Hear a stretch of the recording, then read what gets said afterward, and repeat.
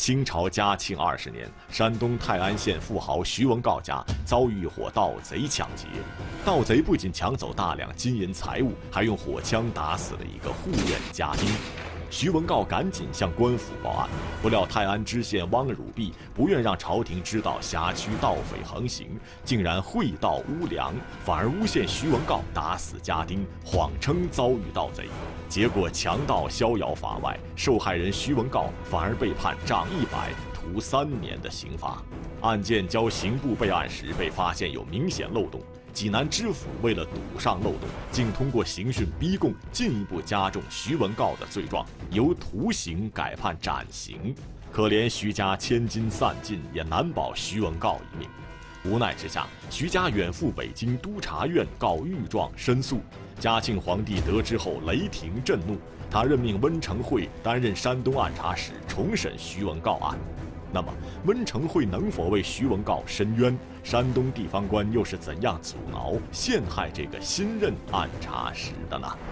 清朝刑案探秘系列节目，国家图书馆郑小优将为您讲述泰安惊控案二：重审官员翻案难。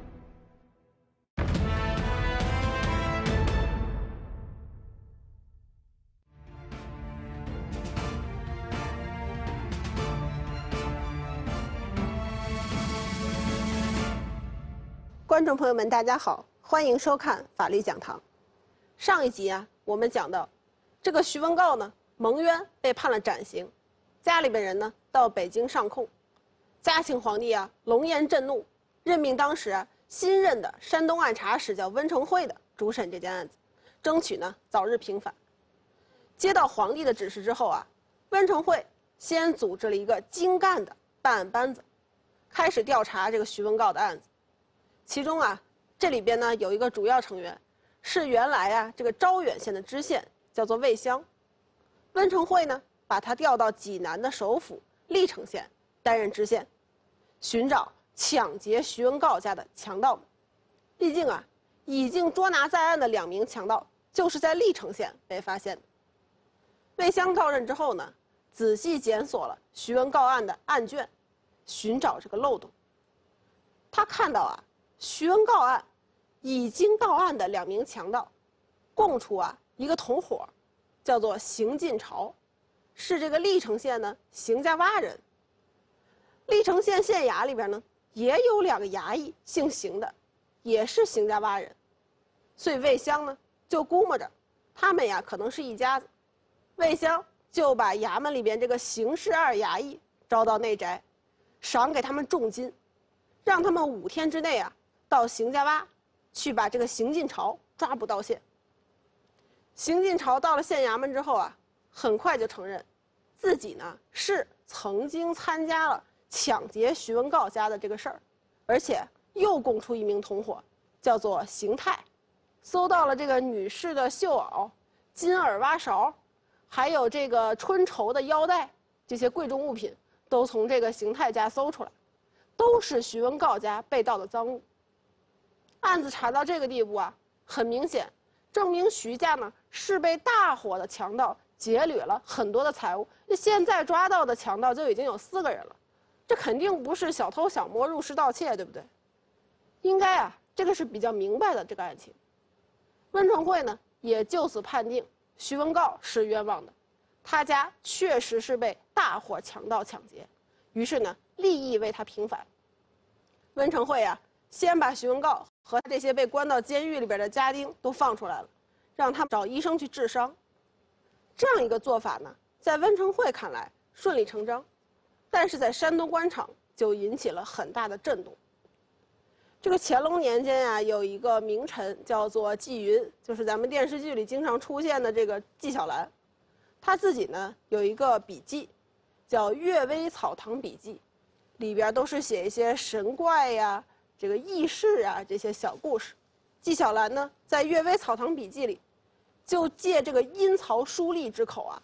描述当时官场断案流行了四句话，叫“四救四不救”，其中呢有所谓的“救生不救死，救官不救民，救大不救小，救旧不救新”。其中啊，这个“救官不救民”这一句，说的是平民老百姓你去告状，如果告赢了呢，此前参与审理的这些官员就要承担责任。这样的官场风气啊，在徐文告一案中，那表现的是淋漓尽致。怎么个表现法呢？先看温成会要问徐文告翻案，那此前负责审理这件案子的前后两任济南知府，一个胡祖福，一个钱俊，那首先就紧张起来了。为了阻止温成会翻案，他们俩怎么办呢？他们俩开始组织手下人，到处去散布流言，说温成会呀这段时间连续抓捕了这么多名强盗，还没有刑讯，这些人都招供了，这不合情理呀。大盗都是见过世面的呀，不打他是不会招的呀。那这些人没刑讯就招了，恐怕不是真强盗，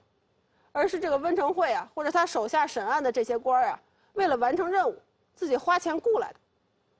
还说什么呢？说徐文告为什么要杀白永柱呢？那是因为白永柱的妻子啊长得美，徐文告呢想强占她做妾，所以就假装说自己家遭了强盗，借这个机会呢。把白永柱打死了，结果等温成会把白永柱的妻子提到济南公开过堂，哎呦，大家一看，这个女人啊长得是奇丑无比，怎么会有徐文告这样的大富豪为了霸占这样一个女子设计陷害人命呢？所以啊，第二个流言当即不攻自破。但是随着越来越多的强盗相继到案招供，第一个流言呢却是越传越盛。根据这些强盗的供词啊，当时参与打劫徐家的强盗说，一共有十一个人，被徐文告家呢当场击毙了一个，后来又病死一个，现在呢已经抓了六个，还有三个在逃。但是这里有一个大问题，纠结强盗团伙的这个主犯王大壮、王三壮这个两个人，都是这个在逃的三人当中的。有消息说呢，这兄弟俩呀已经逃到山东境外。渡海逃往吉林去了，那抓捕的难度显然是大大增加。按照清朝的法律，为了避免案件周期拖得太长，凡是这些强盗大案，只要抓到强盗一半的数量，且证据确凿，就可以提前结案了，把已经抓到的这些强盗呢按法律定罪，其他没抓到的呢继续抓。目前这个案子呀是个亲案，事关重大，温成会呢。恐怕事情发生变化，就准备按照这个法律条例来办理。但是他把这个想法呢告诉巡抚何顺武，就被巡抚驳回了。为什么呢？实际上啊，这个巡抚何顺武被之前那些流言所惑，就是说这个强盗其实不是强盗，是温成会花钱雇来。而且啊，温何顺武又想保全之前审理的那些官员，比如胡祖福啊、钱俊这些人的前程，所以呢，他自己保持的是一个观望的心态。要求温成会呢，必须把所有的案犯都抓到，审问明白才能定案，不许抓到一半就定案。山东巡抚有意维护初审各官员的利益，他坚持要将所有盗贼全部抓捕归案才能结案，这给温成会出了个大难题。盗贼四散潜逃，行踪隐秘，短时间内将他们全部抓获几乎是不可能的。但官大一级压死人，巡抚有命，温成会也只能硬着头皮执行。那么，强盗首领王大壮、王三壮兄弟后来是怎么被抓捕到案的？当案情大白，温成会准备为徐文告翻案平反时，不料再次发生意外，巡抚何顺武突然病故，而接替何顺武巡抚的正是当年初审此案的山东按察使程国仁。程国仁害怕他审理的冤案被查出来。为了避免被追责，他又会怎样阻挠温成会翻案呢？清朝刑案探秘系列节目，国家图书馆郑小优继续为您讲述泰安惊控案二：重审官员翻案难。在这种情况下呀，温成会只能再想办法，尽快把这个强盗的首领王大壮、王三壮兄弟两个抓获。很快。济南府啊，找到了一名王大壮的熟人，叫做张鹏，让张鹏呢做线人，给他安排了一个济南府块头这么一个身份，块头就是捕役的一种啊。张鹏呢，先到王大壮的家里，得到了这个王大壮老母亲的一封家信，随后呢，从海上秘密渡到吉林。张鹏先找到了这个王大壮，巧言诱惑说你要回乡探母啊，你母亲年纪大了，给你写了信。随后呢，又在这个大壮帮助下找到他弟弟王三壮。按照当时的规定呢，从东北地区进关，需要有这个官方的凭证，否则就是私逃了。所以张鹏、王大壮、王三壮三个人商量，回城之后呢，就一起到这个吉林将军的衙门去领取这个入关的凭证。但是，一到官府啊，张鹏很快就秘密呈上了这个山东按察使衙门的这个公文，偷偷告诉吉林将军衙门的人说呢，这两个人是亲案重犯。吉林将军衙门办事的人员也很机警，马上报告了将军，把王大壮、王三壮兄弟就地逮捕，由将军呢亲自审讯，确认他们是正身无疑之后呢，就派了精兵强将，押送这兄弟俩回到济南府受审。王大壮兄弟一到济南呢。温成会马上派人亲自提审，那王大壮怎么说呢？王大壮马上就交代了，他说呀，之前就听说泰安县有一个徐家，家资是非常的雄厚，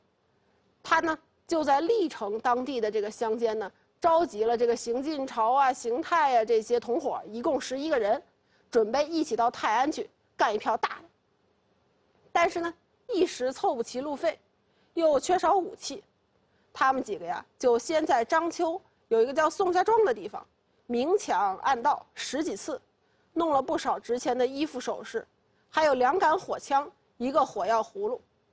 有了这个趁手的火器啊，让王大壮很高兴，因为呢，他早就听说，徐家呀有一个叫白永柱的武士，武艺非常高强，所向无敌，就有点像《水浒传》里边教师爷的这样一个身份的人。有这个白永柱一夫当关呐，只怕是很难破得了徐家大门。但是现在不一样，现在有了火器了，那就不一样，可以不用再害怕白永柱了。到了六月三十号晚上二更时分，王大壮这一行人呢，来到徐文告家门前，一起是夺开栅门。白永柱啊，就住在栅门外边的一个土屋里面，听到门前这个动静不对，一惊而起。奔入门内，大喊一声：“我白永柱来也！”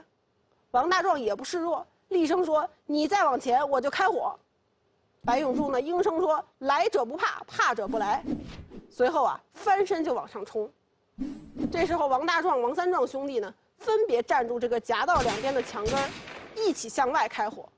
所以，白永柱的尸身上呢，胸和背两侧各有一处致命伤，因为是两面开火。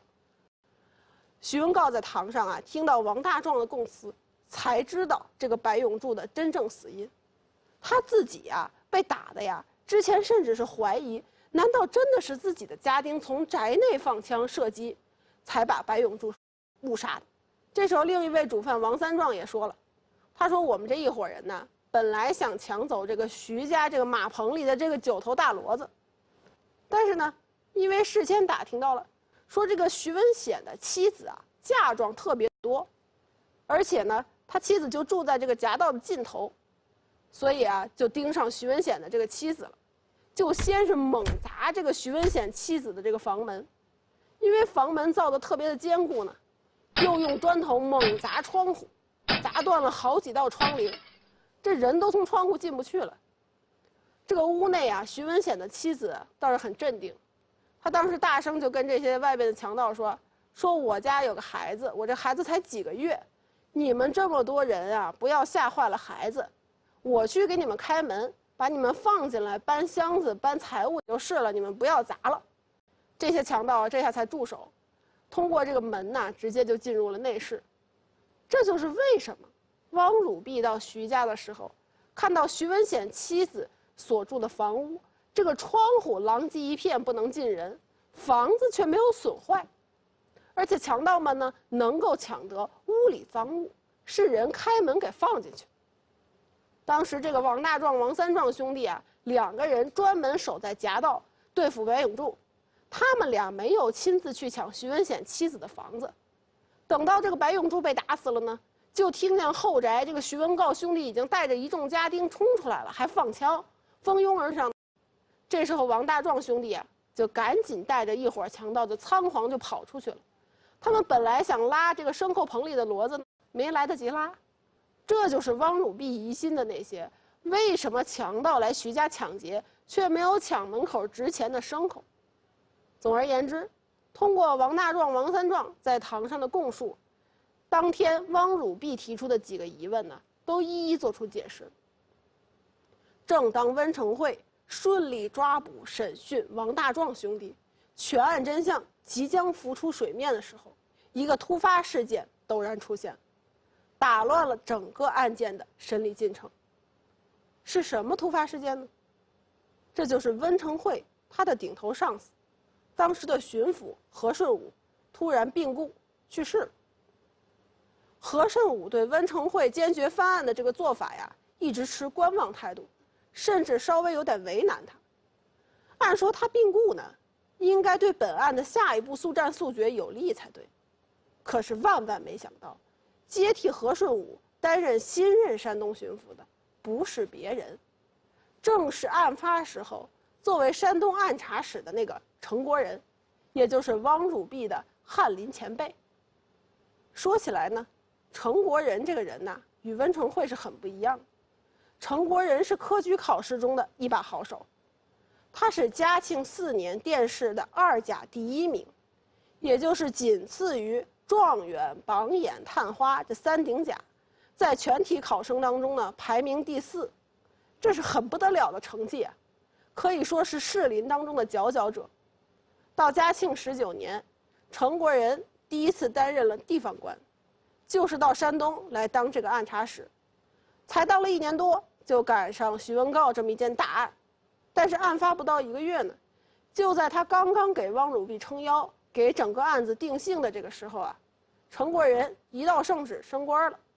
派到这个甘肃去做布政使。到嘉庆二十三年，程国仁又走官运，从甘肃布政使呢升为浙江巡抚，主政一方。到嘉庆二十四年三月，和顺武去世，程国仁呢。就又被调回了他曾经工作过的地方，就是这个山东，来这儿呢做最高的行政长官巡抚。这下可就麻烦了，程国仁呢是徐文诰案发时候的按察使，对这件案子呀负有不可推卸的责任，这就比何顺武作为巡抚的责任要直接的多，要大得多。如果温成会真的把这些案子翻过来了，那对程国人的仕途体面就大为不利了。所以呢，程国人一当上山东巡抚，一接案，就开始极力阻挠翻案，为温成会设置重重障碍。因为这家案子呀，已经是皇帝亲自下达指令的这个亲案了，就需要巡抚呢亲自坐堂审讯。过堂的时候，这个程国仁就当面质问王大壮，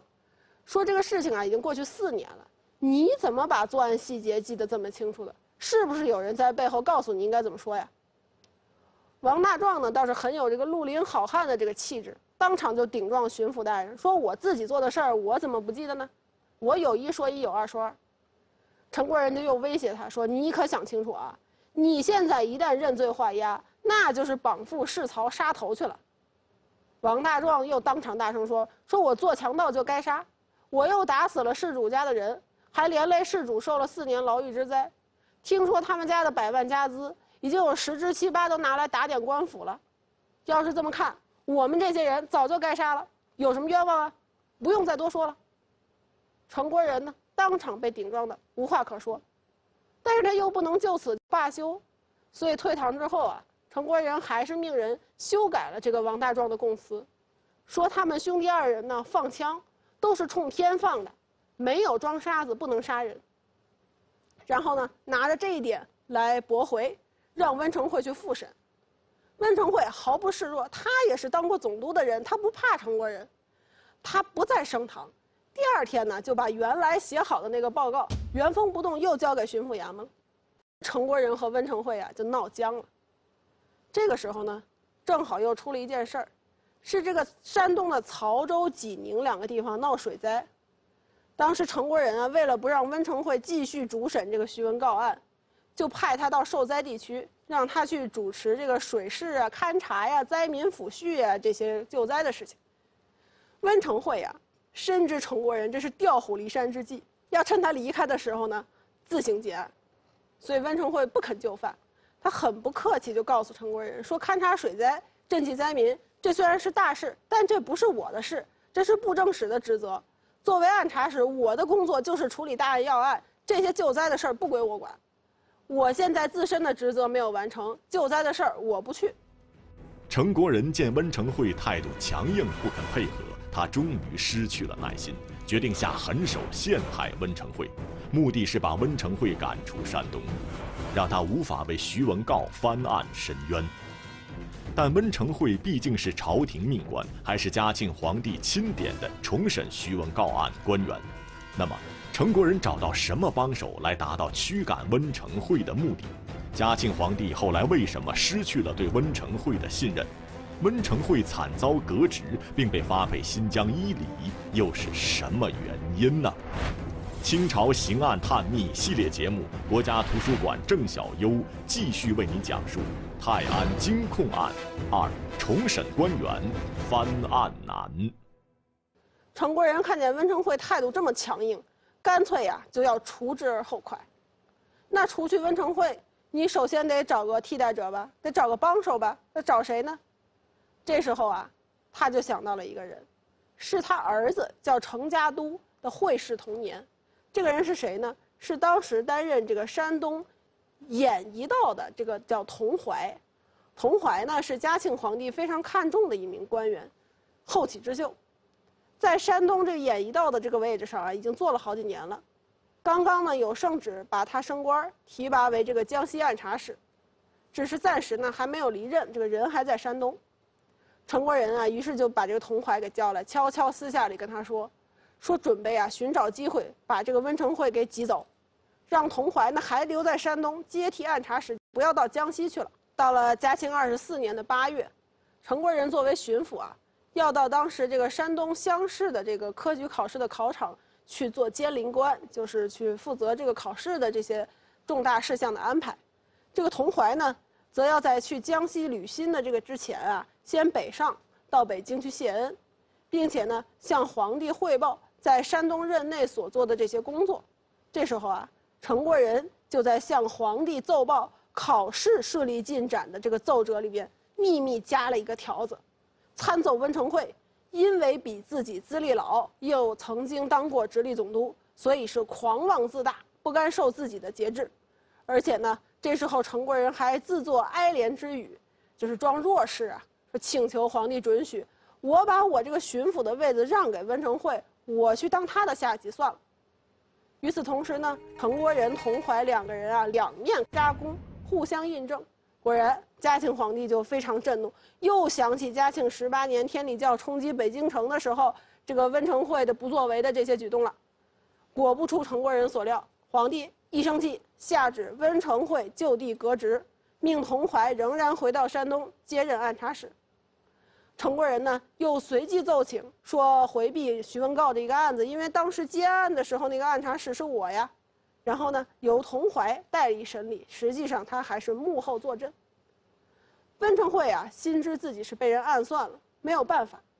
在离开济南之前啊，他就到这个布政使的衙门，去和这个布政使岳灵安呢握手相别，并且拜托这位老同事，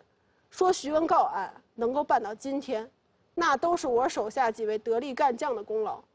我走了不要紧。但是我走之后呢，恐怕就会有人拿他们泄愤。他们家里啊，有的都是有八十岁的老母在堂，希望您呢能多多留意保全，不要让他们流落到流放万里的这个下场。岳灵安呢是温厚的人，当场呢也就表示一定会接续温成会没有完成的这个志业，只要自己还能够平安的留在山东，就一定尽力而为。温成会离开济南的这一天啊。按照当时官场上的这些惯例，陈国仁呢作为巡抚，你要先到城外馆驿去等候，为温成会送行。但是听到风声的这个济南的老百姓啊，就沿途咒骂，以至于巡抚的仪仗队呢都不能顺利的通过。陈国仁怕有意外的事情发生啊，就返回衙门了，甚至来不及去做做样子给文成会送个行。就仅仅如此啊。陈国人他们还是不能快意。童怀仅仅接任了八天，就弹劾温成会在担任山东按察使的一年多之内，虽然组织全省审结了两千七百多件积案，但其中呢有四件是错案，而且呢滥尽无辜，还雇佣罪人当这个衙役。弹劾的奏折送到北京之后，嘉庆皇帝下旨，将已经革职为民的这个温成会论罪，发往新疆伊犁。到这时候呢，陈国仁认为，自己在山东已经能够一手遮天了，他决定把几乎已经没有任何意义的这个徐文告案再翻过来。他先后调来了两位府一级的这个官员去审这个案子，没想到呢，这两个人都对温成会的遭遇十分同情。不肯随意附和这个巡抚，其中啊，第一位干脆就以温成会原意上报；第二位呢，到济南之后只做了一堂，就称病不出，一拖就是一个多月，没有下文了。陈国仁也没办法，他又和童怀商量，派了一名自己的亲信去署理这个济南府的知府。这位新官啊，秉承上意，对众多的这个犯人证人施以酷刑，想让他们尽快改口。那么徐文高案的走向最终如何？官场中这些形形色色的人等命运又会怎么样呢？我们下期再说。今天的法律讲堂就到这儿，再见。嘉庆帝派温成会重审徐文告案，温成会却遭遇初审官员诬陷而被革职。徐文告冤案后来是怎么被平反昭雪的？清朝中后期金控案件为何大量增加？嘉庆帝又将如何解决这个难题呢？下期节目中，郑小优将为您讲述平反与两难。